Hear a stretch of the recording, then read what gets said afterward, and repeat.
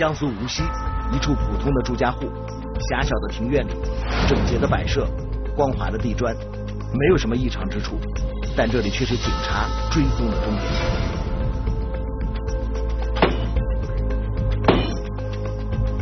案件的线索来源于偶然，涉案的凶手已经逍遥法外八年之久。整齐的地砖即将被砸开，凝固的水泥之下，八年前的惊人秘密终究要真相大白。稍后今日说法为您播出《井水之下的冤魂》。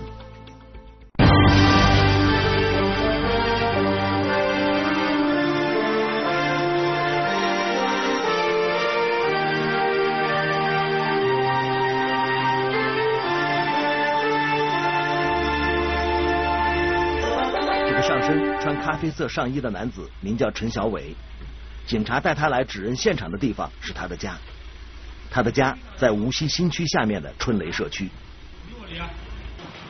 老大，啥个位置？哪个过来？过来。啥地方？哪个叫住址呢？住好你啊！住好住好。啥地方？陈小伟用脚所指的位置是他家院子的地面。地面上铺着地砖，他所指的位置并没有什么特别之处。可能我的马要弄起来恢复，啊，你要要这个一单，信任个，啊，好，他进去了，好，这里吧。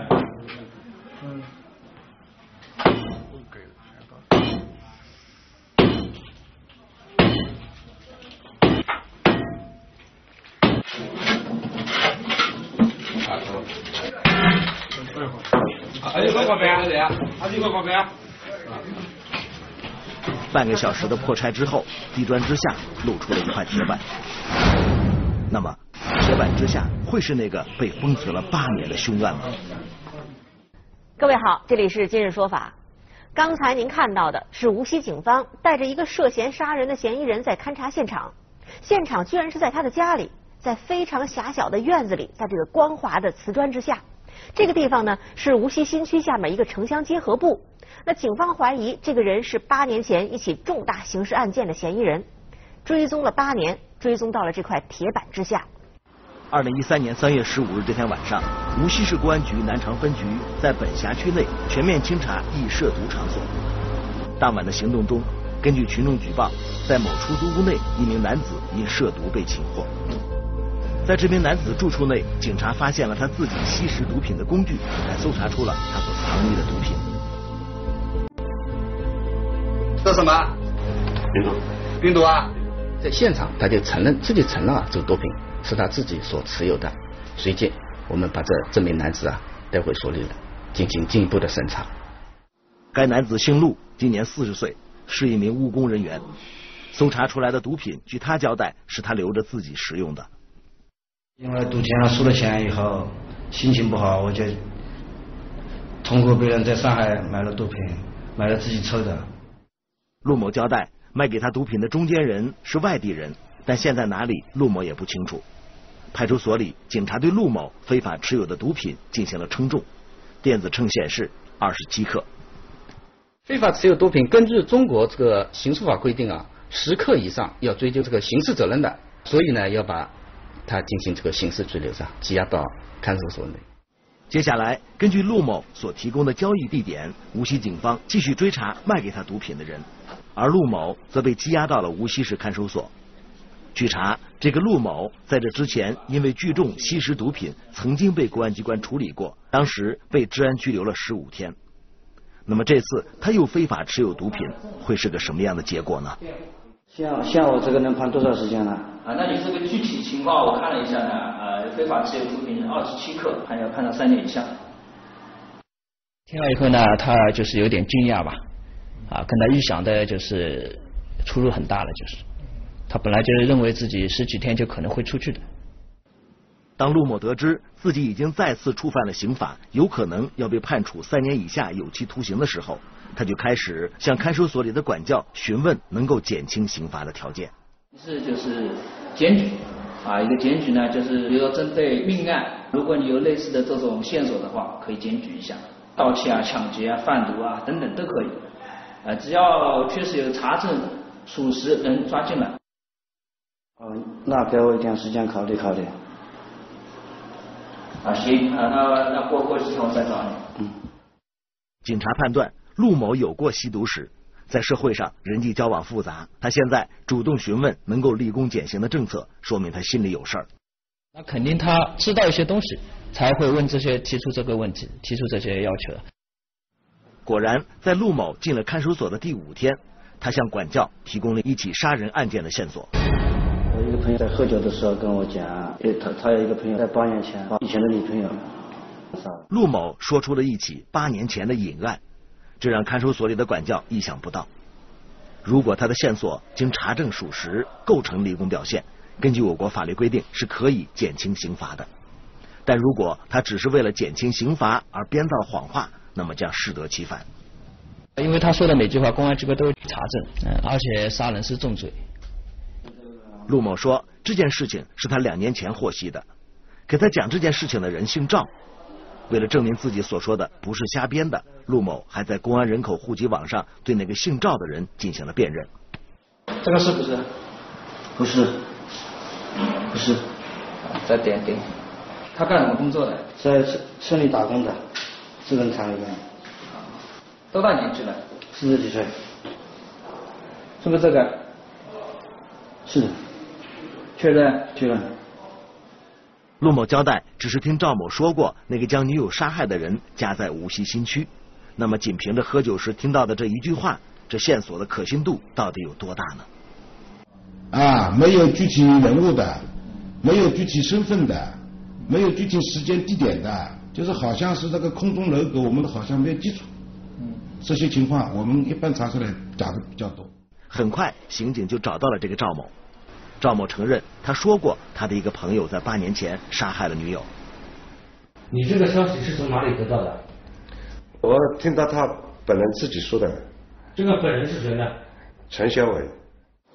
赵某说，他和那个陈小伟多年前就认识，他八年前的那个女友赵某也见过。在两年前，他和陈小伟在喝酒的时候问起，好久没有见到陈小伟的女友了，他就随便问了一句。后来陈小伟就说。他说我伤了女朋友。陈小伟的女朋友你认不认识？我认识，叫毛毛。那个毛毛的真实姓名赵某并不知道，只知道他和陈小伟是在二零零三年就认识的。但当时他想，如果陈小伟八年前真的把女友杀了，不可能还跟他坐在一起喝酒。再加上平日里陈小伟为人比较本分，赵某觉得他不会去杀人，所以他就把这件事情当成听来的一个笑话说给了旁人听。他认为这个陈小伟是酒喝多了，说了一句醉话，他自己也没有太在意。据查，赵某所说的这个叫陈小伟的人，一九七六年出生，无锡本地人，现在就在新区居住。如果说八年前陈小伟将女友杀害了，那么按照常理，他确实不会安之若素的。我们又呃查阅了就陈小伟以前的一些记录，啊，发现这个陈小伟呢，历史上。没有因为违法犯罪被公安机关打击处理过。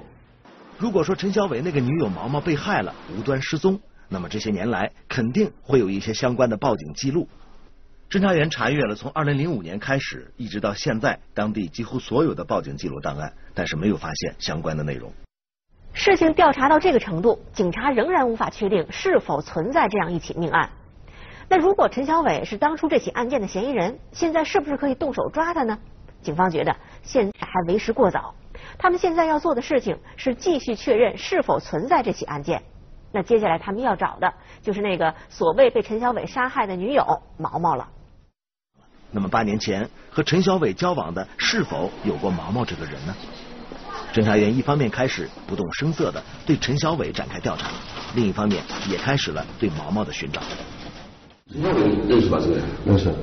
他这个人呢，就是比较就是啊，性格呢比较内向一点。陈小伟的居住地是无锡新区春雷社区。原来这里是一个城中村。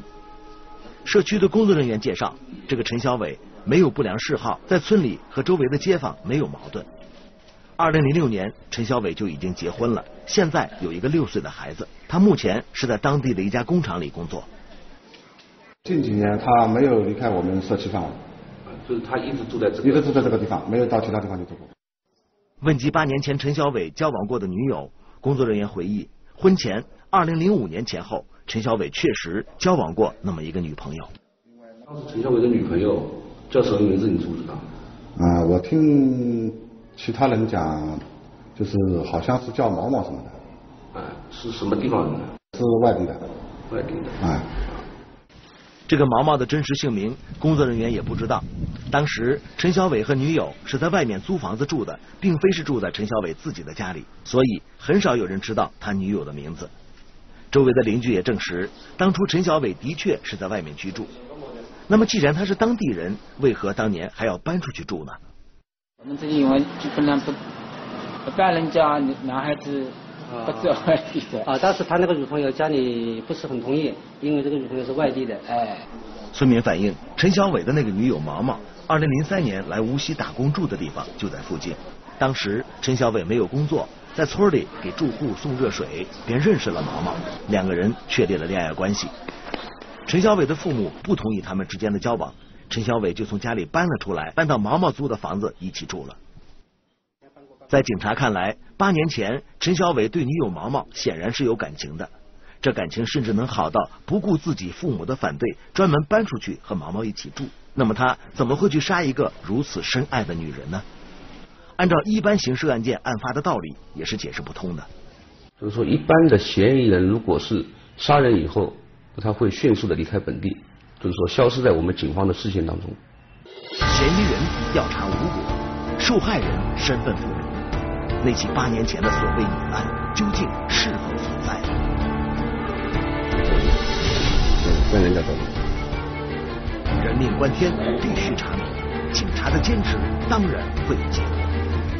井水之下的冤魂，今日说法正要想知道八年前的案件是否存在，必须要知道毛毛现在的下落。据了解，当年他租住的地方就在这个辖区内。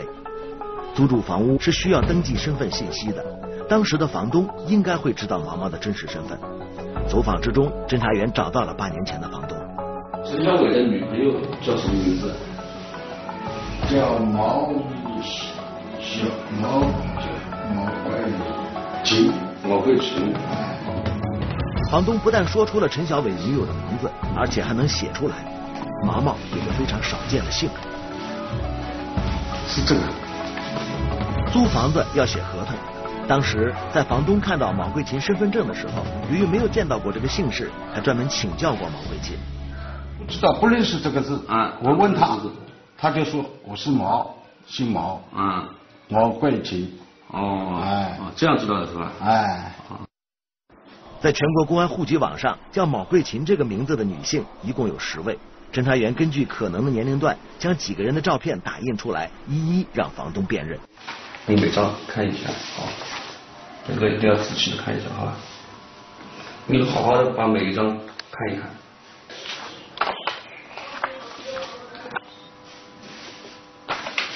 啊，就这张，就是这个这个比较像毛桂琴，哎，叫他是毛毛什么东西？叫毛毛，哎。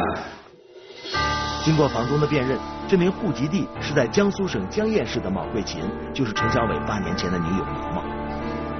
当时，侦查员立即在全国人口失踪信息中寻找毛桂琴的名字，但是没有找到毛毛的任何踪迹，都没有发现。有毛桂琴失踪啊，或者怎么样的报警，没有任何记录。接下来，侦查员又调取了无锡全市所有暂住人口信息，但是也没有什么发现。如果说毛桂琴如今人在外地，那么他要生存，他的生活轨迹也会在别处出现。侦查员又对以马桂琴为名全国银行的开卡记录进行查询。啊，你好，那个麻烦你帮我查询一下，这个有一个叫马桂琴的人员，他有他在你们这边有没有办卡记录？你好，请稍等。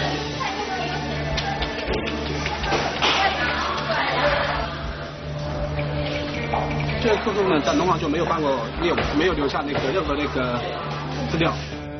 侦查员对平日里所有大家能接触到的银行逐一排查过了，都没有发现江堰籍的毛桂琴在银行有过任何交易记录。这也就相当于说，这个毛桂琴，这个八年了，在整个中国就消失了，人间蒸发了一样。还有一个思路，就是这八年来，毛桂琴如果仍在人世的话，那么他一定会和自己的家人有过联系。户籍地显示，毛桂琴的家是在江堰市百米镇的一个村庄。侦查员找到了毛桂琴的家人，得知她的家人也一直在寻找毛桂琴的下落。我妹妹没有了，失踪了。此前一直只闻毛桂琴之名，现在终于见到毛桂琴的容貌了。在毛桂琴的亲人那里，警察看到当年的毛桂琴是一个长相俊俏的姑娘。你最后一次见你妹妹毛桂琴是什么时候？嗯，零四年，零四年七月份左右。毛毛的姐姐说，妹妹在兄弟姐妹当中排行最小，从二零零三年就外出，一直在无锡打工。她和家里最后的一次联系是在二零零四年的十月前后，那次她是从无锡打电话回来向家里借钱。当时你们也没借钱给他？没有借钱。没借钱。我说你没有结婚，我们没有，你有没有把我们带到你住的地方？这个钱我借借给你，我找也找不到你。嗯，我跟了这样讲。毛桂琴的嫂子说，从那之后，毛桂琴就和家里失去了联系。刚开始，家里人以为是因为不给他钱，毛桂琴在赌气。但是，一直到今天，毛桂琴竟然和家里的任何人都没有再联系过。所以，一家人这几年都很着急，只是谁也不敢往坏处去多想。只有他认识家们，呃，他找家可以找，但是我们找他就很难找的，因为没有电话联系。在毛桂琴的姐姐和嫂子的印象当中，毛桂琴人长得漂亮，聪明伶俐，一家人都觉得她是家里最有出息的人。只有一点不好，就是觉得毛桂琴家庭观念不重，老想着自己要出去闯一下，就不想家里人会怎么惦记她。啊，出来打工也不容易，但是呢，我觉得随便到哪个地方，这个家的概念，随时随地都不能丢失。对于毛桂琴八年的杳无音信。他的家人也曾经努力过，试图寻找他的下落。他们到过无锡许多工厂、车站人员密集的地方，但是都没有结果。他们甚至还在电视台登过寻人启事，也没有回音。后来家人只能盼着毛桂琴能主动的跟家里人联系了。你们当时知不知道他在和谁交往呢？陈小伟，是他跟陈小伟。两个人关系怎么样呢？当时？那时关系还好，很很好的。关系还很好。嗯。毛桂琴的家人说，陈小伟是毛桂琴在无锡打工时认识的。陈小伟是无锡本地人，毛桂琴人在无锡，总算有个照应了，所以就同意他们之间的交往了。我感觉他这个人呢，还比较忠厚老实。在这之前，毛桂琴的姐姐说，毛桂琴也谈过男朋友，但是和陈小伟交往之后，就再也没有跟别的男人有过往来。毛桂琴失踪之后，他也到无锡想找陈小伟来着，想问一问陈小伟是否知道妹妹的下落，但是没能找到陈小伟的住址。住的房子根本就是不知道到哪里去找陈小伟这个人。至此，警方已经可以百分之百的确认毛桂琴确有其人，她确实八年里没跟家人联系过，像是空气一样消失了。而这种消失是不正常的，最有可能知情的人就是那个家里知道的她唯一的男友陈小伟。之前是跟陈小伟谈过男女朋友，所以说我们公安机关认为有必要来询问一下这个陈小伟。今年的四月四日，在现场，当侦查员将埋在地砖下的铁板拿开之后，一口水井露了出来。在这么小的一个院子里，在非常精致的地砖之下，怎么会有一口水井呢？关于这一点，警察给出了解释。原来，在八年前，这个地段的居民没有变成城市居民的时候，这儿就是一个村庄。村里的人为了方便日常生活，一般都会在家里挖一口小井。像陈小伟家这样的水井，每家每户的院子里都会有一口的。陈小伟家被掀开的水井，目测井口直径大约零点五米。警察找到了一根竹竿，对这口水井的深度进行测量，大概有一米七深。井里的水很清，没有什么异常。蹊跷的地方只有一点，就是为什么这口水井会被掩埋在地砖之下呢？侦查员找来了一台水泵，真相也许就在这湛青的井水之下了。由于涉嫌杀人，根据法律程序，侦查员依法对陈小伟采取了相关措施，把他从家里带回了派出所。认识吗？认识嘛？零三年吧，四五月四月四五月份。对于马桂琴，陈小伟并没有讳言。他说，早在2005年他们住在一起的时候，他就发现和毛桂琴性格不合。毛桂琴脾气火爆，经常为一些小事跟他发生争执，所以他们经常打架。陈小伟不得已提出了分手，之后毛桂琴就离开了他。他走了吗？跟跟人家走了吗。但是具体说到毛桂琴是跟谁走的，陈小伟说他不清楚，只知道毛桂琴一直和那个人有联系。我认识的时候，有一个人，有一个人的，有一个朋友，男朋友，男的的，我也没看见，具体人我也没看见。陈小伟说，当初他们分手的时候，毛桂琴就告诉他说要跟那个人一起走。果然没过多久，毛桂琴就不辞而别了。所以陈小伟认定毛桂琴就是跟那个男人走掉了。之后，毛桂琴也再没有和他有过联系，他也就在那段时间之后搬回自己的家住了。零五年吧，四五月份。侦查员同样拿出了许多叫毛桂琴的人的图片，让陈小伟辨认。他挑出来的就是那个户籍在江苏江堰的毛桂琴。陈小伟所说的是实话吗？井下的水正在一毫米一毫米的降下去，水下到底有什么呢？在水位还高的时候无法判断。在此前，陈小伟对自己是否涉嫌杀人沉默不语，而在看守所之外，警方的调查一刻也没停。侦查员又一次找到了出租屋的房东，房东说，当时陈小伟和毛桂琴就住在他家二楼临街的这间屋子里，一直到二零零五年他们两个人搬走了，房东就再也没有见过毛桂琴。两个人一起走的。你有没有问这个陈小伟他们去哪边了呢？问了一下，我说你们现在走了，你们到哪里去？他说我们到家里去了，回家了。回家了。啊。房东的话给出了一个事实。二零零五年的时候，是陈小伟带着毛桂琴一起离开出租屋的，并不是别的男人把毛桂琴带走的。而且当时房东也没有见过有谁跟毛桂琴有过接触，毛桂琴不大可能跟陌生人一起离开。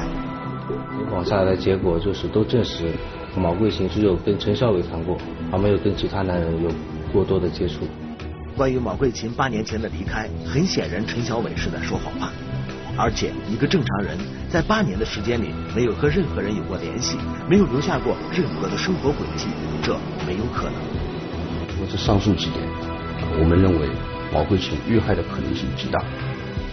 如果说八年前毛桂琴确实被陈小伟杀害了，那么在这八年的时间里，陈小伟为什么没有离开无锡呢？他难道不怕落入法网吗？这又该怎么解释呢？那我们认为，就是说。他可能把这个案件做的自己认为天衣无缝，公安机关也查获不了，无法破获。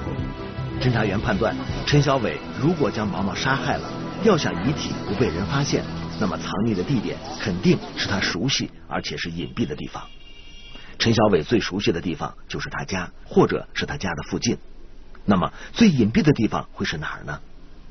也就是在这个时候，从陈小伟邻居那里，侦查员第一次听到了关于陈小伟家的那口井。那井就在他家的院里，后来装修房子给盖了起来。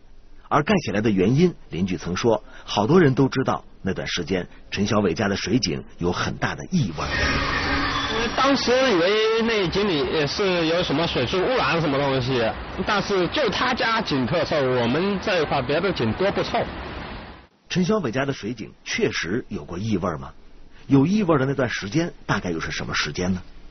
通过对陈小伟哥哥的询问证实，二零零五年他们家的那口水井确实有过异味，而那个时候正是毛桂琴跟家里借钱没给之后就杳无音信的时候，也是陈小伟所说的毛桂琴被人带走的那个时候。到了这个关头，一个警察非常不愿意去想，但又不得不去想的结论就出现了。也联想到是毛桂琴的尸体可能会被陈小伟抛尸在里面。此时到了和陈小伟正面交锋的时候了。陈小伟，你家院子的那口井为什么要填封掉？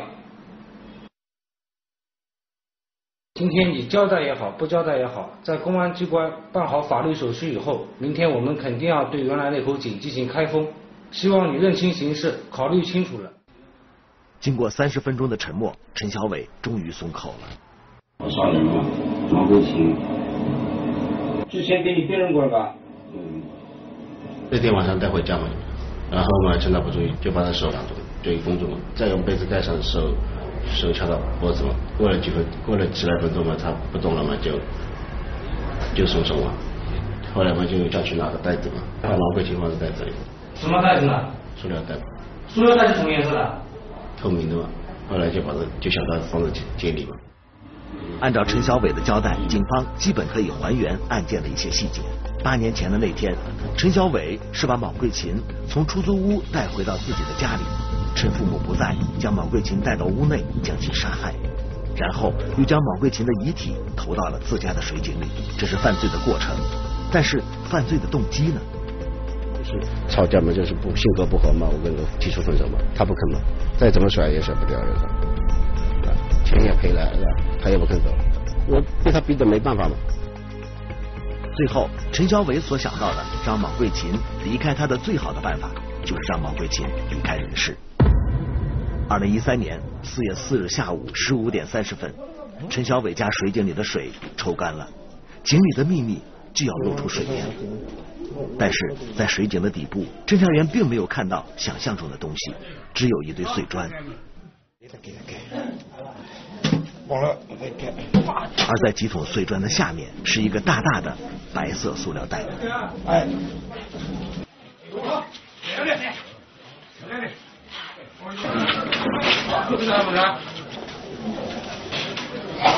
啊，我名字写进去。啊。